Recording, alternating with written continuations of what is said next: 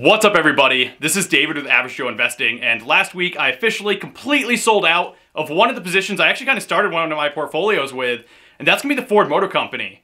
Now this is a position that I've been talking about for about the last month or so saying I was kind of getting towards the end, I was probably going to sell out relatively soon. Ford's a company that's been in and out of my portfolio at different stages of my investing career but it's officially 100% out of my portfolio. So I thought this would be a great opportunity to talk about the money that I actually made on the position, but also to answer a question that I get pretty frequently, and that is how do you decide, you know, hey, it's finally time to cut ties with this company, it's finally time to kind of move on to something else, what's changed fundamentally in the company that makes you want to move away from them, or just why the position doesn't make sense anymore.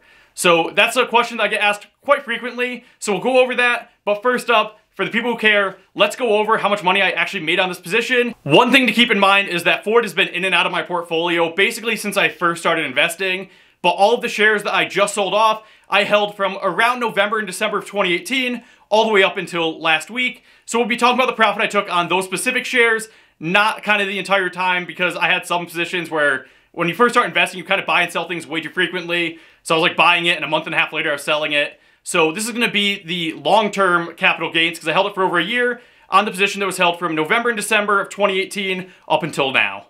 So for those of you that don't know, I actually held Ford in two different portfolios. So obviously in the M1 Finance portfolio I've been showing here for a while, but I also held Ford in another portfolio where I actually had a decent amount more shares in that one. So because I bought them at slightly different times, my average cost per share is going to be a little bit different, so I'll go over kind of both of them. So up first will be M1 Finance. So my average cost per share in M1 Finance was $8.71.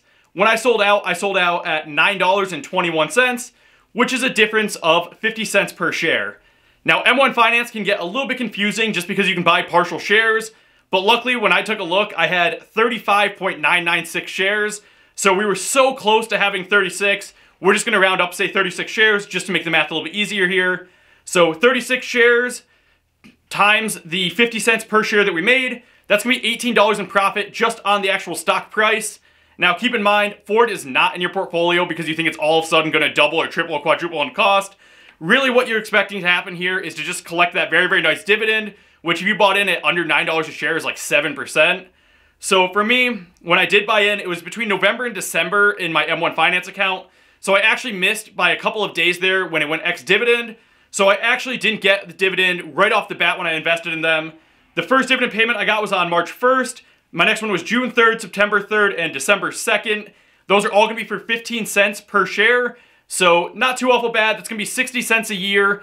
Again, this does not have the special dividend they used to pay in it just because, again, these were bought in 2018.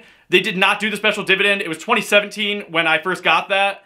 They did not pay it out in the course of the time I actually owned the stock. So no special dividends here. Also, the next time this stock goes ex-dividend is actually January 29th. So by about a week, I'm not to catch that last dividend payout here. Not a big deal. A lot of times people know that a 15 cent dividend is to come up. So the stock price will kind of drop to kind of reflect that a little bit, or it'll pick up to reflect that. So I'm not too awful worried about losing that. But overall, on that position, that means that we made $21.60 in dividends over that course of time. So we add that to the $18 we made in profit. That means we had a total gain on those 36 shares of $39.60. Or, in other words, about a dollar and 10 profit per share that we had in the portfolio. That's not too awful bad. We paid $8.71 per share. We ended up with a value of basically $9.81. So we do a percent change there. That's going to be a 12.63% increase over the 14 months I owned it there. Also, because this is an M1 Finance, that does mean that it was actually in my Roth IRA account, so I don't have to worry about taxes on this. So that is going to be an actual recognized gain. I can actually go out and invest in something else. We'll go over the other portfolio a little bit quicker just because we kind of know what numbers we're going to be looking at. So it's going to be relatively similar. So the average cost per share in this portfolio was actually $8.65. So I bought this one a little bit later. I bought this one in December, so I didn't have to kind of balance between the cost of what it was in November and December. Very, very simple. I just bought them in kind of one bulk buy. I sold out at the same price, the $9.21. So that's going to be a 56 cent per share difference there. So obviously we made an extra 6 cents per share. Not too awful bad. Number of shares here, significantly higher. I had 115. I actually bought this one as a decent block. It cost me about $1,000. So our profit per, on the shares there is going to be $64.40. Same exact dividend payouts, no special dividend or anything like that. And again, because I sold these last week, I am not going to get the uh, dividend for this time when it goes ex-dividend on January 29th. So overall, the dividend payouts I got on this portfolio was $69. We go ahead, we add that to the $64.40 I already made. That's $133.40 we made on this a little bit bigger position. Not too awful bad considering it cost us about $1,000. In about 14 months, 13, 14 months, we made $133. So I feel pretty good about that. So our profit per share is going to be $1.16 per share. Again, we plugged that into a percent change calculator. Started out at 865, ended up value there of 981. So that's going to be a difference of 13.4% increase over the last 13 months. And again, keep in mind, this one was not in a Roth IRA account. They were held long enough to be qualified dividends, as well as it was held for over a year, so it's going to be long-term capital gains. So I will be taxed at a lower rate, but this one we do actually have to take the taxes out of, so the actual recognized gain is going to be a little bit lower than what I'm showing here. Okay, so that is the amount of money that I actually made on the Ford stock that I recently owned. So again, I did kind of buy and sell before that. I was actually buying Ford back in like 2017. But those are to be the most recent shares I actually held and how much money I made on them. But let's go ahead and do just kind of a mini stock analysis here. Go over kind of what we're looking at in Ford and why it no longer really made sense for me. So up first, we'll go over just kind of those basic numbers that a lot of people care about when they're looking at investing. So Ford stock currently is only $8.91. So it's already dropped 30 cents per share since I sold out of my position. That's pretty bad. It's only been a couple of days. So that's a pretty big drop off for, you know, percentage-wise, it doesn't seem like a lot, 30 cents, but percentage-wise on how small the stock price is, that's actually relatively high. The dividend rate right now is 6.67%, so very, very nice. I mean, they haven't cut the dividend yet. They're still paying 60 cents per year on a stock that's now trading under $9 per share. That's pretty decent.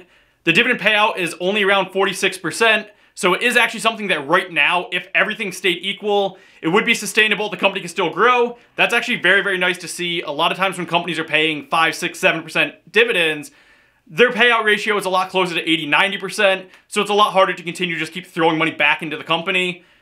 The 52-week high was $10.56. 52-week low is $8.16. Now, again, I held it a lot more than just over the course of last year. So for me personally, while I own the stock there at $8.70, kind of around there per share, realistically, the price went anywhere from $8.05 per share all the way up to about $12.50. So at one point, I was actually up very, very high on the position, but I wasn't really thinking I wanted to sell out because at the time, Ford actually looked kind of promising. But again, things have changed. The company is not fundamentally the same company it was. So let's dive into a couple of those reasons and why I sold out my position. So for me personally, Ford is just changing too much fundamentally from what I thought I was investing in, in the sense that they're just not really focusing or doing well in the areas that we were really expecting them to.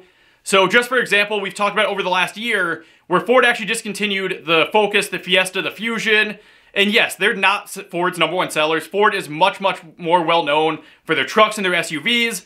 But again, that's kind of like Coca-Cola selling out, you know, eh, we're not to sell Sprite anymore because it's not our top sales. We're to get rid of Mellow Yellow because, you know, we don't sell nearly as much as Mountain Dew does.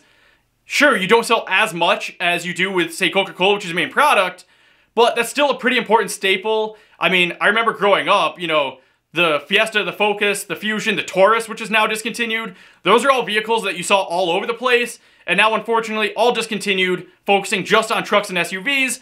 So that's one fundamental difference about the company. They're kind of shrinking what they're actually selling out there. Also, the main reason why I'm kind of getting turned off Ford right now is I bought into them because of how well they were doing globally. So in North America, sure, they're going to continue to sell decent amounts of trucks, SUVs. That's kind of what we expected, and that's fine. If you want something that's just going to maintain the dividend payout, that's probably enough. But there was so much growth going on when I first got into investing over in, say, China, for example. Ford was selling an insane amount of vehicles. And unfortunately, since 2016, it's kind of taken a nosedive to the point where last year, in 2019, they sold about half the amount of vehicles in China as they sold in 2016. So that's part of the reason why we saw a stock that was $12.50 go down to like $9 per share because one of their biggest things is we're going to go to China, we're going to sell just a ton of vehicles, and we're going to be significantly better over there. In North America, yes, we're going to try to continue to sell what we're selling, but globally, we want to be a bigger global brand. Well, over the course of the last year, in North America, they did increase sales. That's very good. But globally, across the rest of the world, they were actually down about 2% in revenue. So the thing we're trying to expand to, the thing we're trying to make the company bigger in, was kind of a pretty big flop. Unfortunately, it doesn't look like the bleeding is going to stop there either because they're actually projecting to do even worse in 2020. If we just take a look at 2019, we're not taking a look at 2020, which they've already kind of slashed projections on, which is pretty disappointing. But if we take a look at just 2019 versus 2018, just in China, which again, massive, massive country, tons and tons of people live there, this should be a massive market for them. They sold 26.1% less vehicles just between 2019 and 2018.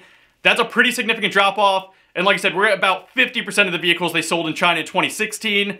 That's really disappointing if you're investing in Ford. You really want to see this global growth. It just doesn't exist anymore. Now, obviously, when you invest in a company, yes, it's nice for them to kind of stay stable, but we really want to see growth. The stock market is stronger right now than it's ever been in the past. A lot of companies are doing really, really well. Sales are up pretty much across the board for everybody, and that's unfortunately just not the case for Ford. So just for example, in 2018, they had a total earnings of about $7 billion.